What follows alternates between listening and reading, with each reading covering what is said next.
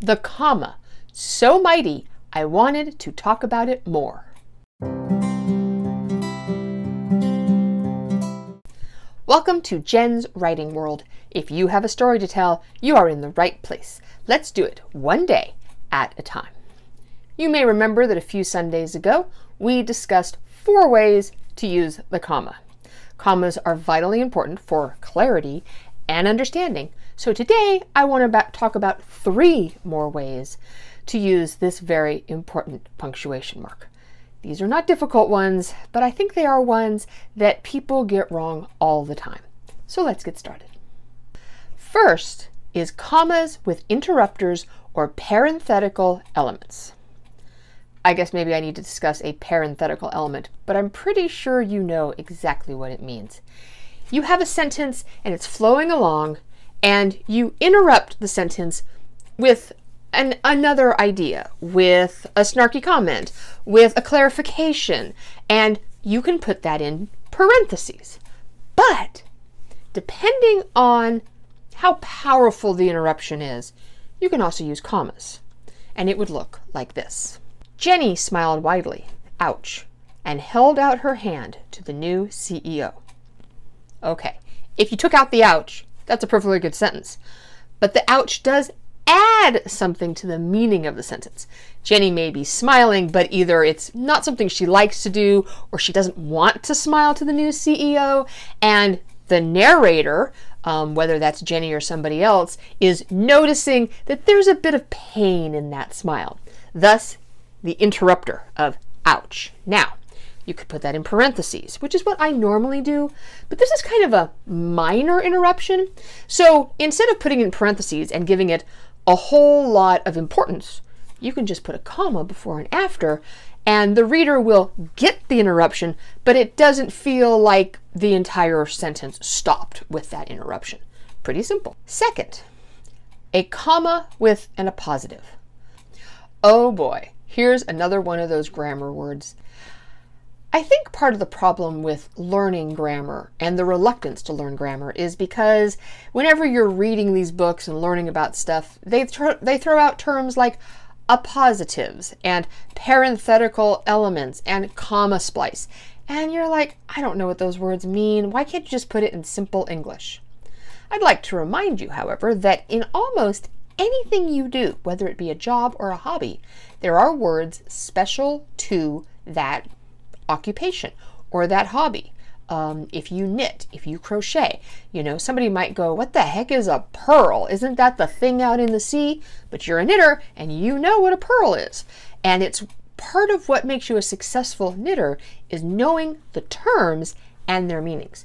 And also, part of what makes you a successful writer who knows and understands grammar, which is important to being a successful writer, is that you know these terms and you may not use them all the time.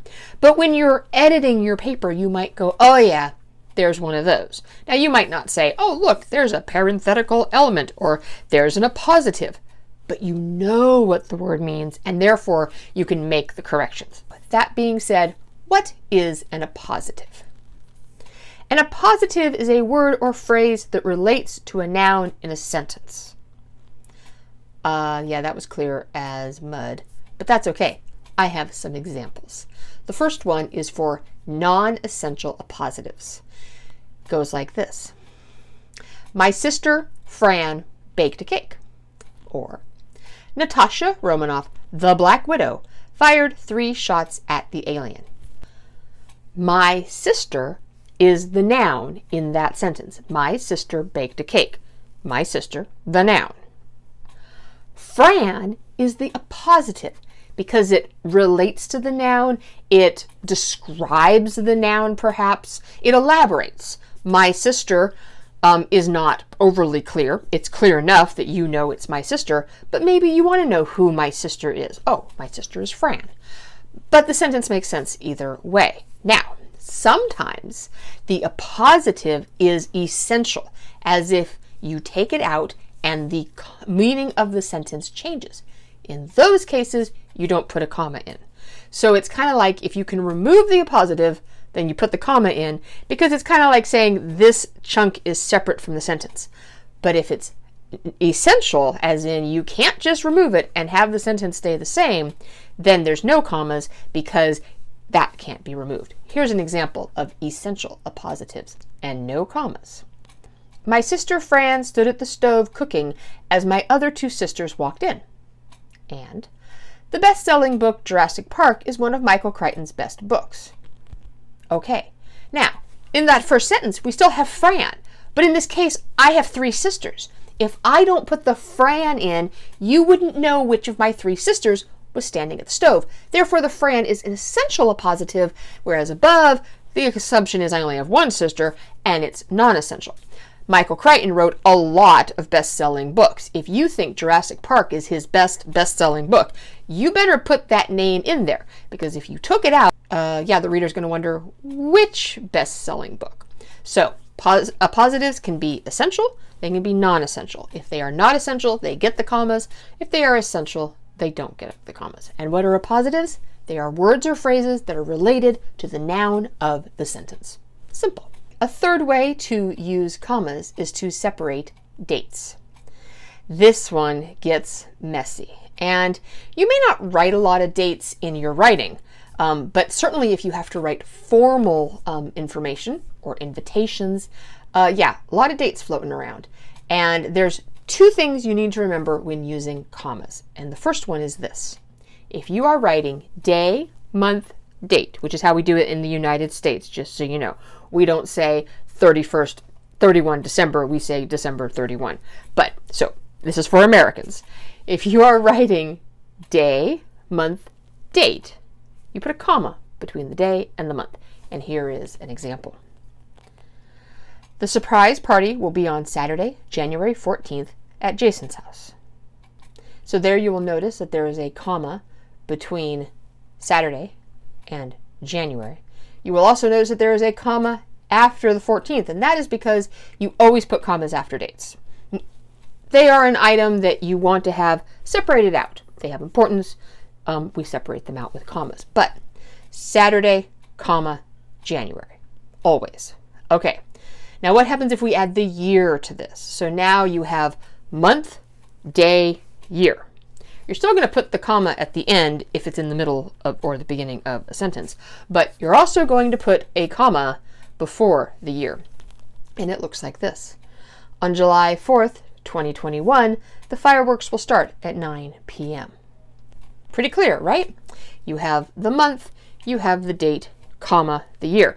Now, if you ever write checks or anything like that, I know that antiquated thing called a check, that's how you write it. We write month, day, comma, year all the time.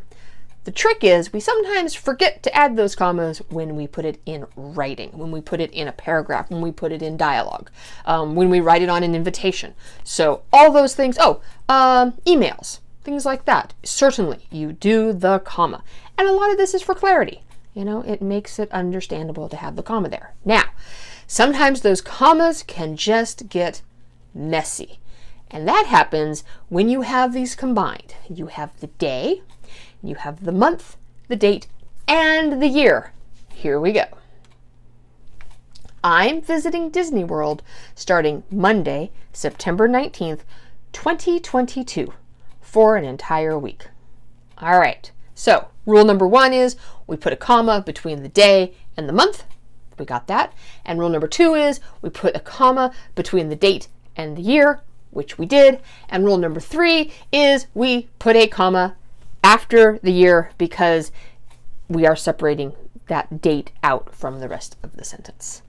Uh, pretty simple, right? Yeah, that's a lot of commas to remember.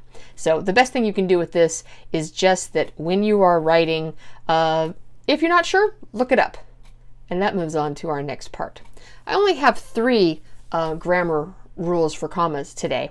Uh, and actually, we won't be discussing commas anymore. I will be moving on to other fascinating punctuation.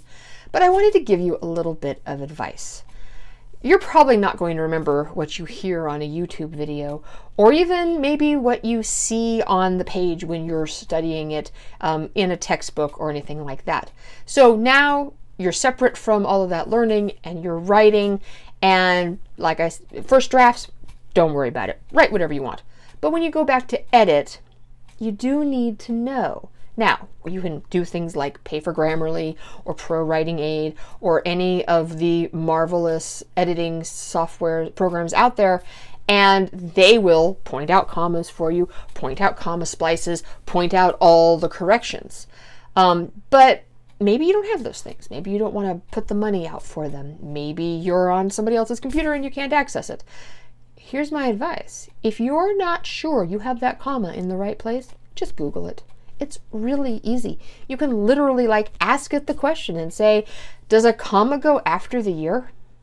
And Google will come up and say, Yes, a comma goes after the year in a sentence. Okay. And you're like, Oh, great. Thanks, Google. So, not knowing the answer nowadays is not the answer. Being bad at grammar is not an excuse anymore because even if you don't have any of the wonderful editing programs out there, you probably have Google or your version of a search engine, in which case you can say, huh, I wonder if I'm supposed to separate out Fran in that sentence. And so you can type it in. And you don't have to know what an appositive is. You can simply say, when I have this and this, and literally like type your sentence in and say, is this right? Google will bring it up. And I guarantee you it'll probably say something like, and an appositive that is non essential gets commas, and an appositive that is essential does not get commas. Pretty simple. And I'm only harping on this because you still see a lot of bad grammar in the world. And I think that when we were kids, at least when I was a kid, would have been back in the 80s, and you had to have the grammar book on your desk it could be easy to say, well, I didn't have a grammar book and there was no way, you know, or I'd already typed it on the typewriter and I didn't want to go back and use the whiteout and blah, blah, blah. But that's not true nowadays. I mean, heck, even Word itself has a small grammar check. The little blue squiggly lines means you probably did something wrong. Right click, find out what it says. Now, it's not comprehensive, so that's how come I love to use Grammarly, not a sponsor but I do try to use an editing program to kind of help me through the weeds and make sure that at least the basics are correct. Do I get it right 100% of the time? No, I don't. Do I ask Google a lot of questions? Yes, I do. One more bit of advice, also not a sponsor, but I highly recommend that you listen to the Grammar Girl podcast. And if you're not listening to her podcast, at least read her articles online because when it comes to grammar, she is the master. And her stuff is very relatable and very readable and very entertaining. And she has books, so you can have an ebook on your phone that is like all about grammar, so you don't have an excuse if you don't have the tome on your desk. Um, and it's a really good um, way to do it. As a matter of fact, if when I Google um, my questions, if Grammar Girl is one of the choices, it is what I will click on first because I know I'm going to get accurate answers to my grammar questions and I will understand what she is writing because she makes it very accessible. So, all right, enough of the advice. Learn the commas, learn what you don't know, Google it, find the answers, become a better writer. I think that's all I have to say on that. All right, join me on Tuesday and we will do another write in two 25 minute sessions. I hope you've been enjoying those. I have to say, compared to the 10 minute sessions, I am getting so much done. I hope that is true for you too. If you would like to see all of my videos, you can hit the subscribe button down below. A like is always appreciated, and I would love it if you would share this video and others with your writing friends. Today's quote is by Dave Barry. Uh, if you don't know who Dave Barry is, where have you been? His columns for the Miami Herald are so funny. I love to listen to his um, books on audio. He reads many of them, and they're just simply brilliant. And when you just need something to take your mind off the world, uh, yeah, his books are the way to do it. And this is what he said. You write every day. You make it a point of sitting down and writing, even when you have absolutely nothing in your mind to write. The act of sitting and trying to produce something is really important. Oh, yes, I hope you believe that.